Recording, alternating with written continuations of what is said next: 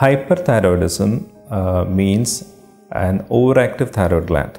When the thyroid gland is making more hormones than necessary, it results in hyperthyroidism. The usual symptoms are increased metabolism, weight loss, feeling warm or sweaty all the time, um, changes in menstruations, etc. If you have these symptoms, you should see your endocrinologist. There could be many reasons why you could have an overactive thyroid.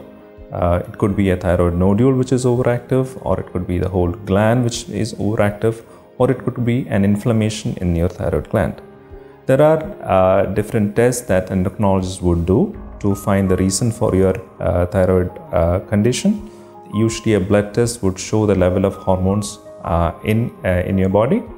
This is maybe followed by an ultrasound scan to look for any nodules and sometimes we do a radioactive iodine or technetium scan to look at the function of these nodules.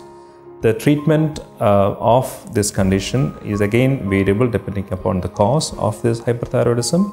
It, there are the different options are uh, medications which maybe need to be taken for one and a half to two years. The other modalities of treatment are radioiodine treatment or surgery.